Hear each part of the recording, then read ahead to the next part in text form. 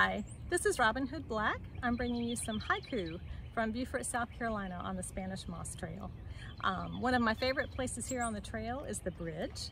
And when you're reading or writing haiku, it's helpful to think about the invisible bridge between two images in the poem.